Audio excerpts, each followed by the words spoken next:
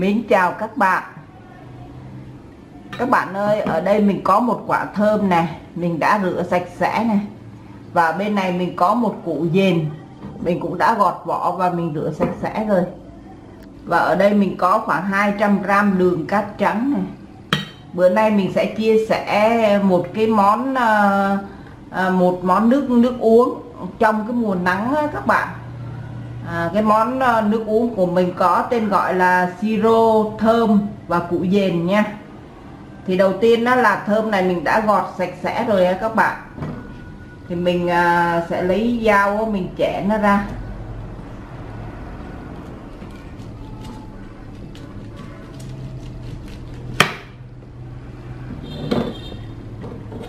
Cái quả thơm này khi mình mua là nó cũng chín vàng luôn đó các bạn.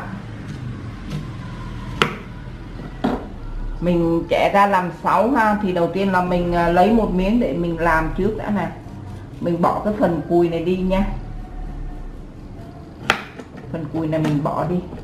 Cái này là cái dao để một lát nữa mình à, nạo cái à, củ dền đó các bạn. Và mình sẽ cắt thành những miếng mỏng mỏng ha.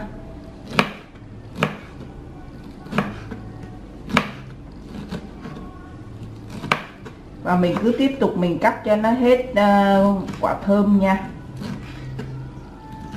Thơm mình đã cắt ra rồi bây giờ củ dền đi các bạn. Mình lấy cái đồ bào này này để mình bào nó ra sợi sợi nhỏ nhỏ nha. Tại vì cái củ dền nó tròn đó các bạn cho nên là mình cầm phải cho chắc.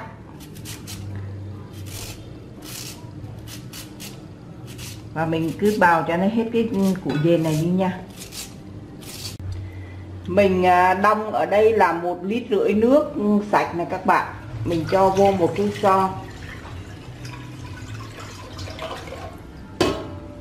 rồi mình cho 200 g đường cát vàng vô đây nha. Mình để đó đi một lát nữa rồi mình à, bật bếp lên rồi mình nấu luôn. Còn ở đây bên này mình chuẩn bị một cái à, uh, son nhỏ. Mình sẽ đong vô đây khoảng 500 ml mình phải nhìn phải cho, cho với cái ca này này các bạn. Đây. 500 ml thì à, trước khi mà mình cho cho nước thì mình cho cái à, củ dền.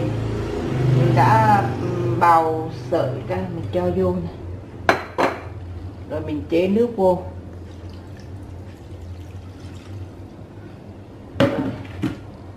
vậy là hai uh, hai bếp mình bật luôn cùng một lúc để mình nấu luôn nha.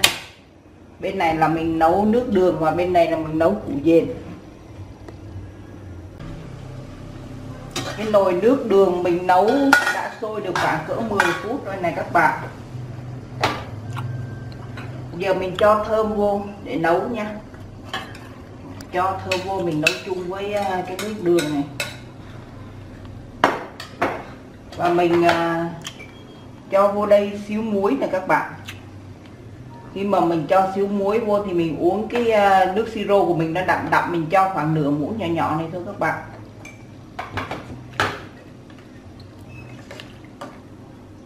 Rồi và như vậy là mình cứ để à, thơm này à, cho nó sôi lên. Sôi rồi mình để thêm 10 phút sôi nữa. Để cho cái cái à, chất ngọt của thơm á nó ra với nước đường nha. Từ lúc mà mình cho thơm vô á nó sôi lại được thêm 10 phút rồi nè các bạn. Mình muốn để cho nó sôi lâu là để cho thơm á, cái à, à, vị vị vị thơm của thơm á, nó ra với đường á. Thì khi mà mình uống cái cái cái nước này này nó mới ngon nha. Rồi bây giờ ở bên cái bếp này nè các bạn.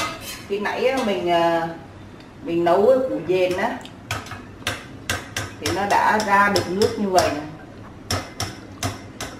mình vớt cái cái xác hiền ra nha.